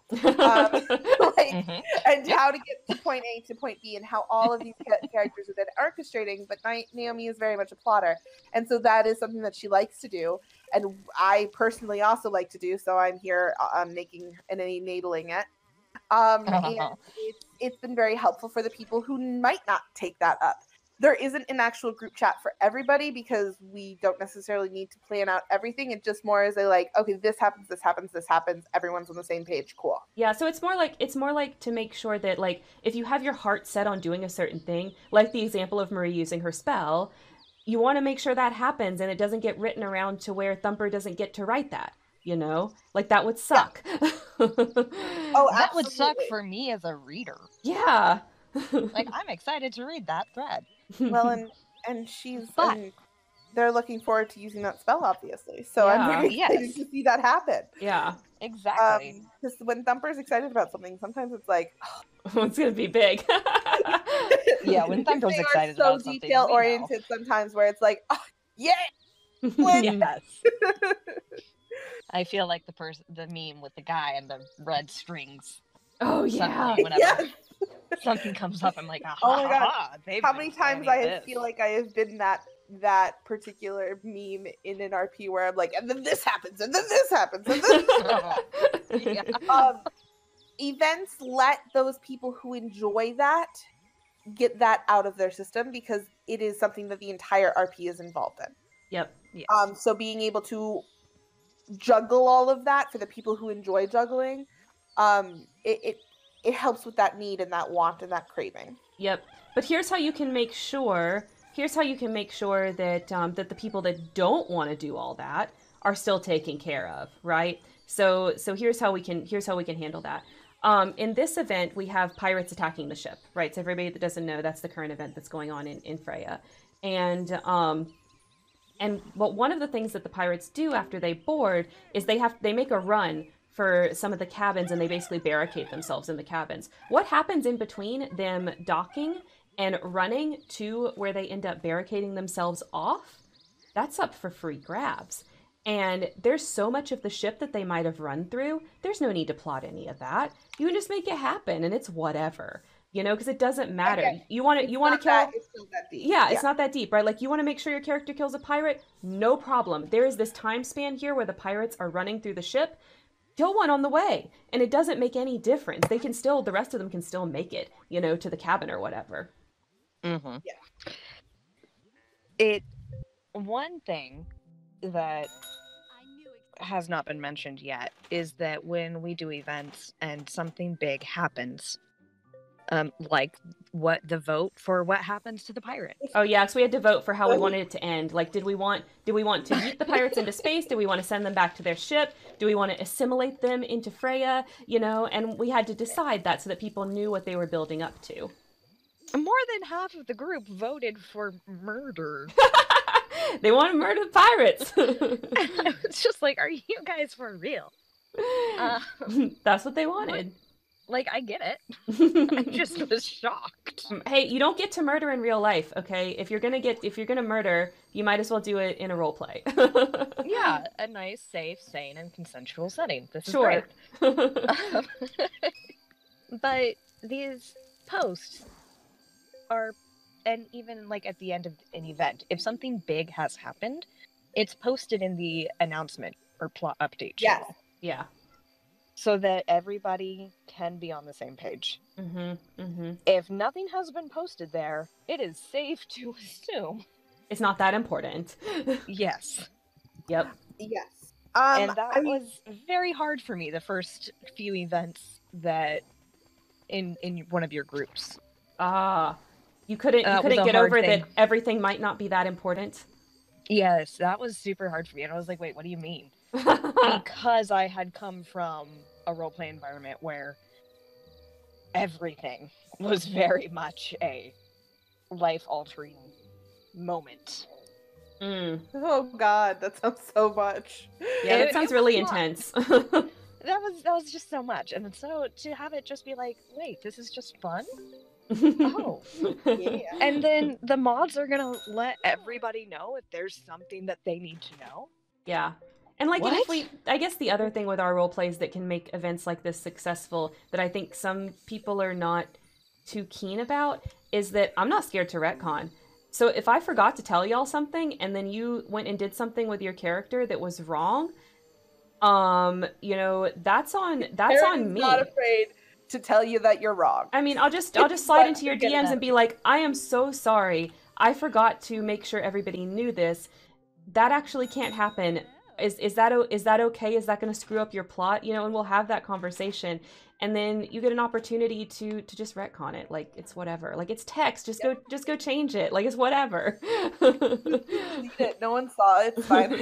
um, I also think that there is something that happens in group in um in events that I am terrible at ignoring this advice, but I want to tell everybody else in hopes that they listen to this advice. and has been the downfall of a lot of events, or has been a, a, a big issue in a few of our events.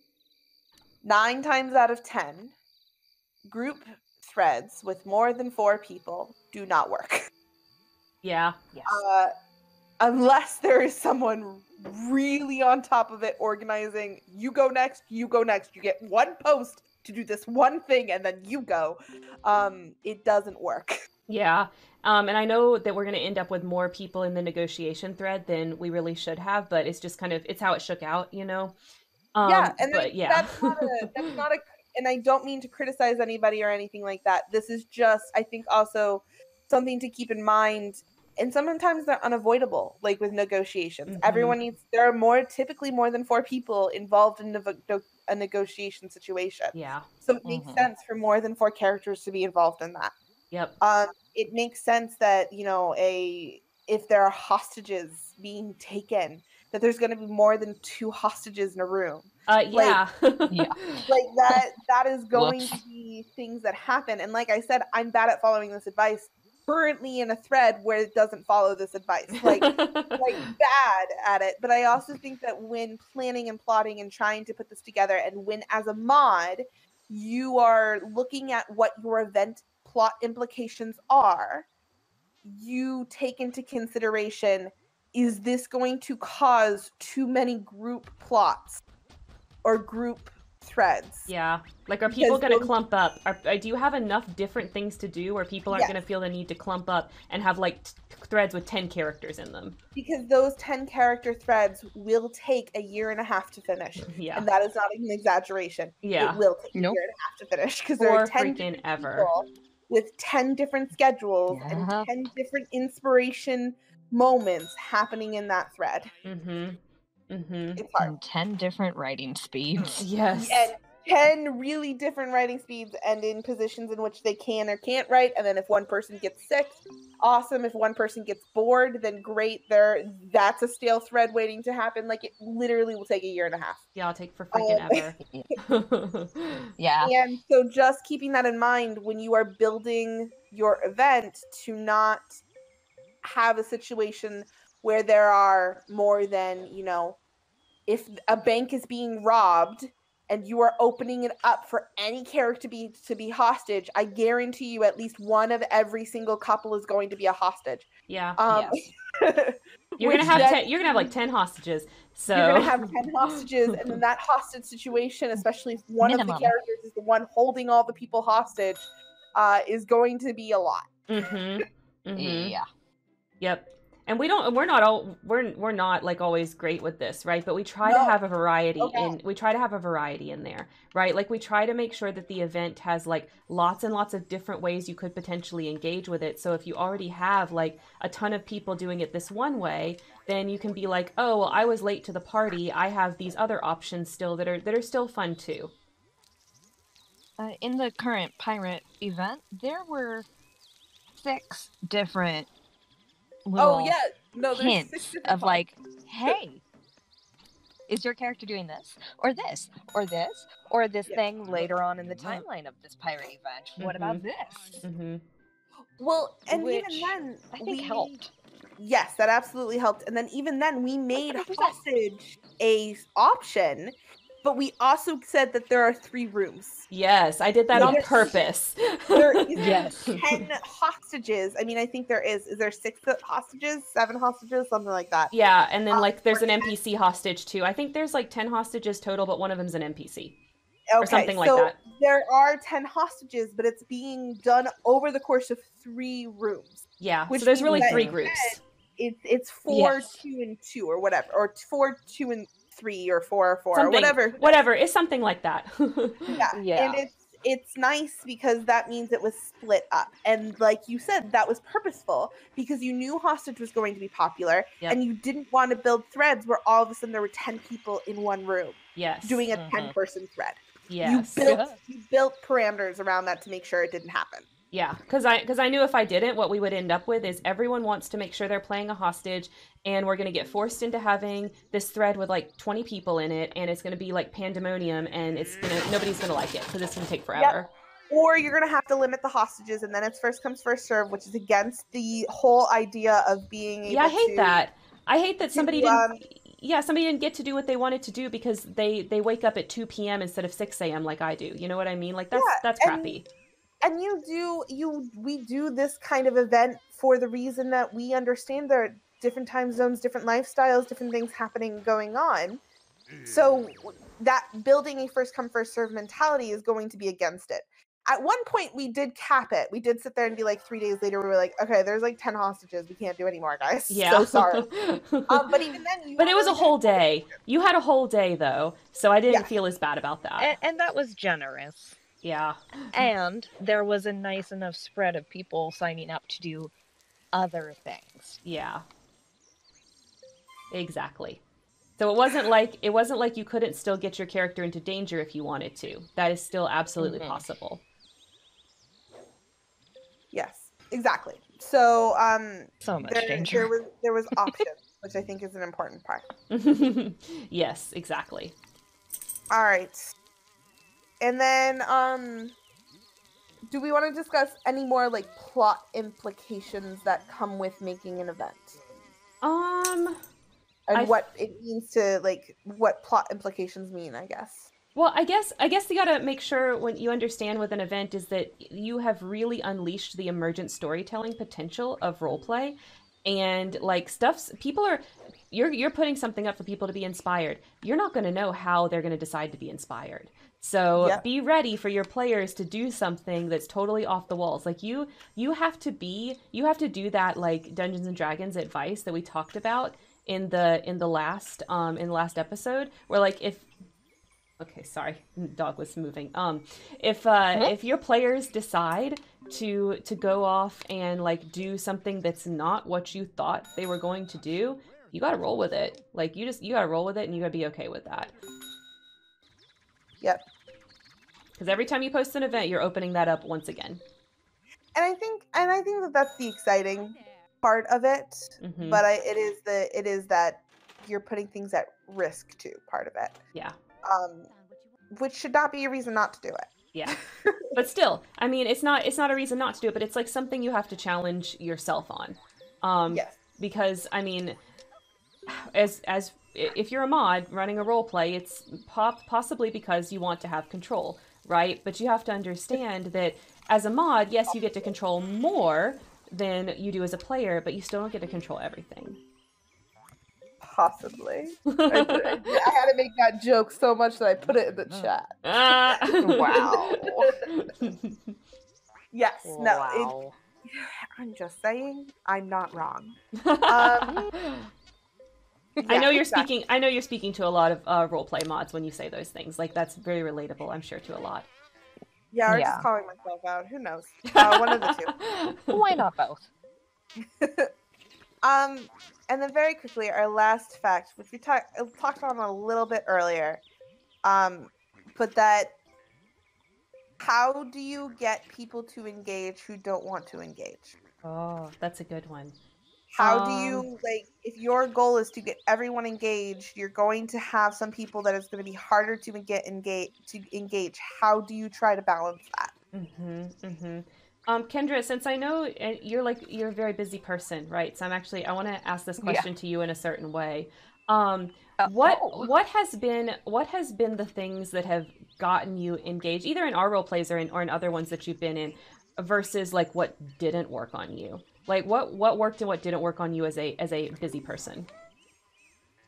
What doesn't work for me most of the time, and this is something that might just be because of the genre I usually lean towards, are the big free for all events where, like, yeah, this event is happening, but there's only plot implications for a certain type of character. Mm, and and like those like coronation events those are a lot of fun.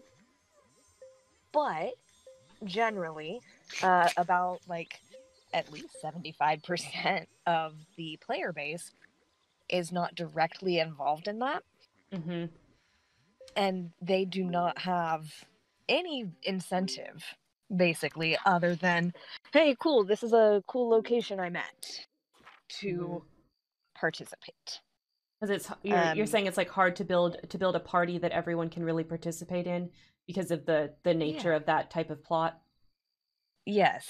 Or like, okay, well, there's going to be an assassination attempt on the king, and here's how it affects this character or this character group, this character group, this character group. hmm And if you are not lucky enough to have foreseen this happening, you are out of luck for this event. Mm. And I'm just like, okay, I don't. There's only so many parties that you really want to write. Parties are a lot of fun, but you need more than a party. Mm. You need a reason for your character to be invested. One of the things, um, I know I've mentioned Spoof Day, and I know it's come up on stream a couple times. Yeah. One of the f- things that really stuck with me about that was how each spoof day was super tailored to individual characters. Where the whole point of it was to play with your character in a way that you don't. And I thought, like, okay, that's really cool. But I'm also the type of person who loves, you know, coming up with like 50 AUs for one character. like, oh, what would this be? What would that be? And it was a nice little chance to dabble and be like, okay, cool, I can do this for a minute. hmm Having the incentive in Freya's voyage, because I was not going to have Yumi involved in this event at all. She was not going to be involved. I was just like, yeah, whatever. but then, Oh, well. vibrations. Dead pirates. Yeah, but then one vibration. As soon as I saw what the event was, I was like, okay, well now she has to be. And so now, because of that, now I have to figure out her next spell. Because I'm not like everybody else in that group who has like five spells plotted already. you, I don't think were it's. alone in I don't think as many all. people have it pre-planned as as it might appear. It's just that the people that do a lot of pre-planning are talking about it. It's literally just me and Naomi. It's fine. well, I don't know about I don't know Yeah. about that. I think there are a lot of I people that are think it's more pre-planning their that. spells. It's more than No, that, but I don't think it's as many as it might appear. No, Yeah, and I and I think it's also changing with what people want from the plot too. Like that's the other thing that I think is changing is that um and that's what invent events are supposed to be doing is that you if plot is changing and, and everything is changing and the events are doing things to change what people are doing they might change their ideas for their spells or their character arc that they Mhm. want to go in like that's that's the other thing too so i think that that's the nothing is set in stone until it's set in stone hmm Yeah. Yeah, Nothing's for set in stone until you write it. Bree is pre- pre-planning too. Yeah, I'm, of course she is. Nobody is surprised there. but like I really and I made Yumi with the intent of haha cat girl maid. Haha. That's it. I was not going to do any plot with her at all. She was a meme.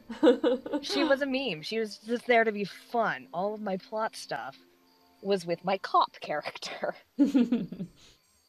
And now I'm like, okay, now she's the meme. Somehow. hey, How that does that happens though. switch? That happens though That when you give yourself full freedom. all of a sudden like you're free for anything to potentially happen, which might mean plot. And which might mean plot, which might mean meme, but it's been so cool to be able to see the events, see what people are doing at the events, build off of what the rest of the group is doing. Because 100%, all my excitement for this is coming from the out of character chats. Mm-hmm. Because I'm out there all day and say, like, oh, it would be cool to do this, this, and this. I'm not going to do any of it if I don't see other people excited. That's true. Yeah, I think that's very true. And I think um I think that that like a lot of stuff that we talk about here on uh, on Enter Stage Window, your foundation is still going to be what kind of uh, what kind of environment that you create, right? And that's going to be the biggest thing that you need to do to uh, to run things successfully is to create the right Mhm. environment for it to happen. Oh yeah. I I just really like the environment we've created. and I know that there's really a lot like of the current players in the chat, and I'm like, you guys are awesome. Just awesome. But and I know that you said this on one one stream a few weeks ago where you saw aliens being mentioned in Thumper's thread. Mhm. And you have like a little notebook and you're like aliens question mark for future events. and it it's that type of environment where just because i'm not involved with i like i the player not i the mod but just because a player isn't involved with the main admin's characters does not mean that they will not get a chance to shine and be important hmm is huge Yeah. Yeah, and I think I think there are definitely roleplay mods out there where maybe your first clue that really you should be writing a book instead of running a roleplay is if your events are consistently excluding people and making people unhappy. And that's just the truth. if There are some there are some admins around your characters Yep. If there there are some admins that I know you're running a role play, but what you really want to do is write a book, and that and that's a thing. And I think events is a is a place where it, that that shows if that's what's happening. hmm Yes. Oh, sorry. I was reading Jane's. You guys make me feel very shiny. What you are they? you are so shiny. That's, I All mean, you're right, soggy, sweet so of course.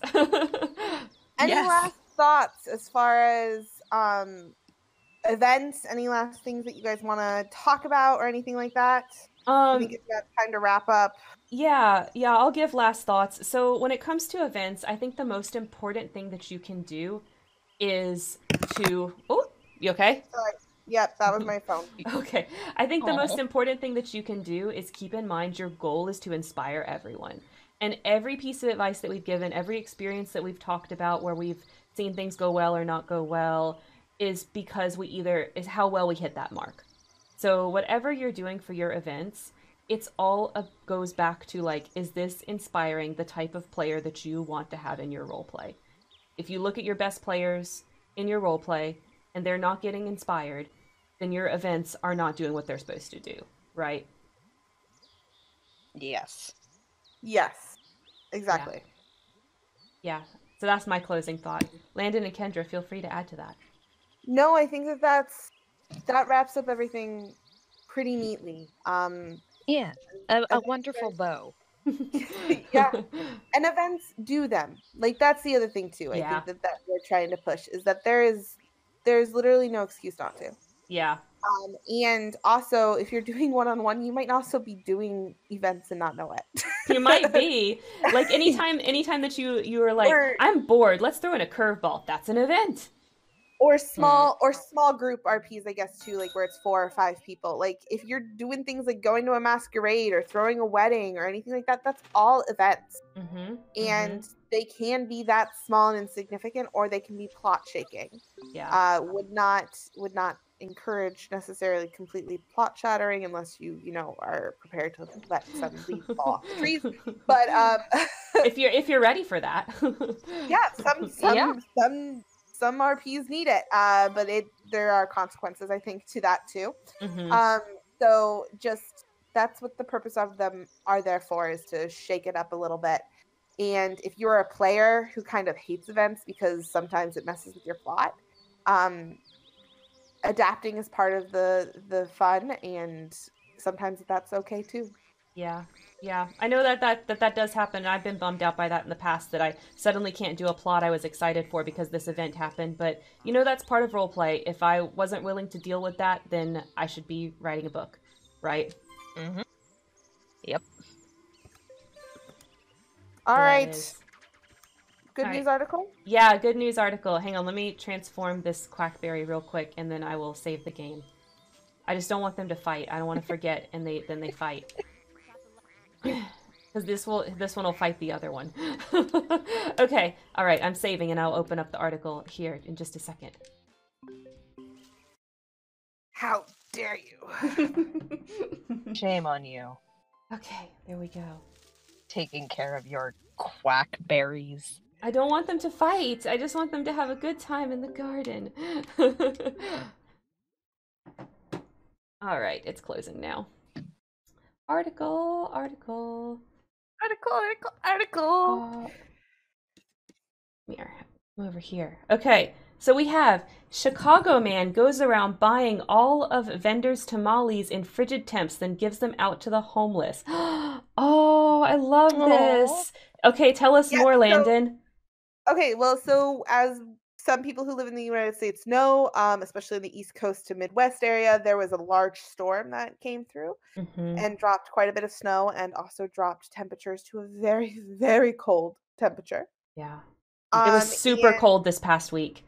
It's been, yeah, it's been super cold basically everywhere. There are some people who I know in our RP were talking about like, and I may, this might just be winter temperatures because I know they're up in Canada. It was like talking like negative 24 feel like as like is like it feeling that way. Ugh. So Mhm. very, very cold. I would There's die. man- There's this man in Chicago who bought 10 dozen tamales, so over 120 tamales, um, and decided to give them out to the homeless in Chicago. Wow. Um, and in order to feed them, in order to give them something warm to to eat, um, which I think shows the the small amount of activism that any person could do or make. Mm-hmm. This is mutual aid, right? Like this is real mutual Yeah. aid. This is like, what can I do to fix this problem now? Let me go do it. Like, and this is this is the kind of stuff that we can that we can do right now to to try to at least put a little bit of good into the world. and this is not his first time doing it. He he talks about that he's done it before. Um, Yeah, he's a and- restaurateur, so I guess he he would know like where all the good and cheap food spots are, of course. Yes, absolutely. And um that uh he that he goes out and delivers them himself. He did it for he's done it for Thanksgiving, which um which is awesome that he's he's made sure to do parts of that. So uh the fact that he didn't go out searching, they just found him like as far as because of the vendor had actually told the um Chicago Tribune. So it wasn't like him seeking out, look at these good things that I'm doing. He just literally is like, yeah, I Aw. do this. um, and so being able to do things, and then he also sits there and goes like, donate to food kitchens, donate to anything like that. Food insecurity is one of the biggest problems here in the United States, and he's very Mhm. aware aware of it and and asks Yeah. people to do that. So I figured that this would be some good cheer about you know buying 1200 or sorry 120 tamales and and giving them to people who who are in need of them I love this. In this article, it talks about how um, what that means is that the the vendor, the woman that was selling them, she got to get out of the cold, so she got to go home because he bought her whole stock Yeah. for the whole Yeah, day. and- yeah and then this wasn't at like a uh this wasn't a restaurant i think. I think it was just like someone on the side who like a vendor like very much like hot dog stand. I think this was like a tamale stand. Um so obviously that this person didn't have a full kitchen behind her or a full restaurant behind her or anything like that. This was this was someone who probably who probably grew up baking tamales and is trying to make a living off of that Mm-hmm. Mm-hmm. I love that. Yeah, this Yeah. is beautiful. I love it. just some, just some good news on this saturday afternoon Yeah. And um, Beautiful. and we love to see it. We love to see any kind of like real mutual aid. And I mean, you maybe you don't have enough money to go out and buy an entire vendor's stock of tamales, right? But uh, but things that you can do is like volunteering at a soup kitchen, um, you know, giving extra money that you do have to to people that help with food insecurity. Um, I would say, based on the work that I have done with some of those organizations, can drives aren't really the best. Don't actually give them your old cans because it actually Yeah, takes a lot of time because most of the time they have to go throw most of them away because people give expired ones. So please actually don't do that. If you really, really want to help and don't, and there's two ways to do it donate your time or donate money. Please don't Yeah. donate food. They can get the food so much cheaper from like wholesale and things like that. Just give the money. Go, give money Yeah. or time to Mhm. your lo- and do it to instead of a national um national organization. Local. Do your local food bank. Every single city, every single town has a food bank, at least one. No matter how big or small your Mhm. town is, you like you have one. Yeah. So go and and even if it's five dollars a month or fifty dollars altogether, or even just five dollars, being able to give money that way really does save lives. Mhm. Yeah, it does. And it's been so important this year, yeah. Yes. especially. especially this year. Yeah. So and and unfortunately, even though we have vaccines and and things are starting to look up, COVID isn't going away anytime soon. No, and we still have people that even once it's gone, even once everyone is vaccinated or as vaccinated as we're going to get, right? Um, that's Yeah. like a whole other thing. But even once we get to that point, uh, it's going to still take time for people Yep. to to Mhm. get back to work um, that have been out of work because then they're, we're going to have a flood on the job market. So Yep. it's Yeah. it's we're we're going through this at least until the end of 2021 again. So um so yeah, anything that we, that you can do this year is important. I agree. Okay. All right. Well, that's what I've got for you guys today. Okay, okay, let's do outros then. Um, Kendra, do you have anything that you would like to shill or anything, any social media that you want to tell people where to find you? Uh, you can find me at Drowfields on Twitter. Occasionally, I, I post silly things. Other times, I am begging for more niche content. Bree gives you That- an that's where I'm applause. Oh, yay! Yeah, Thank thank, you, Bree. She sent you an applause. Yeah, Kendra's Twitter is really cute.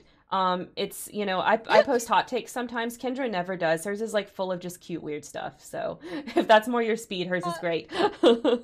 Yeah. I mean, I can post a hot take. What What's my hot take? I don't Um, know. Do you have a hot take? Uh, I know you've liked some of my hot takes, but I don't think I've ever seen you I post one like of your a lot of your hot takes.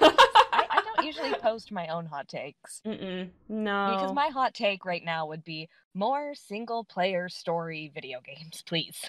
Oh my God. I have no friends. I just want to play by myself. Please. yeah, I do feel like that type of game has gone out of fashion. Um, for sure. And It's really sad. Yeah, yeah, agree. That's a good hot take. I, I approve. I like it. All right, Landon. Um, where can everybody find you, and what would you like to shill today? I would like to show my TikTok. Sometimes it's amusing. Um, you can find me on TikTok, Instagram, and Twitter at Land in Maine, L A N D I N, the state Maine. Uh, it's a pun. It's funny. I'm gonna. I, I think that's just my outro from now on. I'm gonna just over explaining the pun. I like Um, it. My TikTok's hilarious. I stand Karen on Twitter and Instagram. I have some really pretty pictures of something that I bought today for my new, or not today, but for uh, a few weeks ago for my new house. Oh, So uh, go check out cool. those on my Instagram. I'll have to go look at that. I don't browse Instagram Yeah. too much, so I miss a lot of the stuff on there. But um, But I'll have to go the take a look. It's beautiful. It's in the stories. Okay, I'll go look. I'll go look. All right, so where you guys can find me, right here on Twitch, of course. We have Enter Stage Window, which is every Saturday from noon to 2, which is a conversation, more of a deep dive topic on role play because um, you know, I believe that the the best way to improve one of course is practice, but in addition to that, because I can't make you practice, is hearing from multiple perspectives, not just me. Uh, I also have a stream that I do on Thursdays. That's at 6:30 Eastern. That's called Artistic License, and that's a variety stream, which is just me doing whatever I want. It's just my hangout stream. If you like me, come to that. um, and then I have my YouTube show, which is Spare Room. That is my scripted role play help content, which goes up on YouTube at 2 p.m. on Wednesdays. All of this is down below. I also have Twitter and TikTok for my main social medias at It's Karen Terry. And look, I have this fancy thing now. Oh, you can Ooh. click. You can click them. I put them in the chat. You can click them. And um, yeah, so you can actually go click them and find it. Uh, my, my, Discord's also in there if you want to join the Discord. And there's all the regular, normal ways to support me. You guys know the drill. Subscribing to Twitch, Patreon, tips. I have all the normals, everything that every other content creator has. Um, and that's it. That's all that I have for you guys today. Um, let's go. Okay, I'm trying to be a better streamer. Being a better streamer. Uh, let's find someone that we can raid. Ooh. Okay, let me see who's. Wait. What? Yeah, I'm gonna be a better streamer. I'm gonna actually like, you know, uh, contribute to other Twitch streamers, and we're gonna raid. Okay, here we go. Um, ah, thank you for the thank you for the applause, Bree. Okay, so as a lot of you guys know, um, I'm do, trying to do better at networking with other streamers. So we're gonna go raid somebody that I have um, been networking with in a, a Discord streamer server that I joined. He's playing Human Fall Flat right now, and he just reached 20, or sorry, he just reached 100 followers. So he's doing a 12 hour stream today. So we're gonna oh go. My wow. I know, right? Um, poor poor dude. This morning he drank a little too much last night, and we had the results of that this morning. So please make sure he's oh, hydrating. okay. Yeah. Uh, let me type. Let me type this in. Okay, I'm sending you guys off. Goodbye. All right. Go have go have fun in the raid. Um Goodbye. Okay. I'm gonna let that count down. And and bye everybody. Thank you so much for coming uh, to the stream. And um and we'll see you next week. Don't forget to make it a great day. Don't forget to be awesome. All right. Bye guys. Bye. Bye.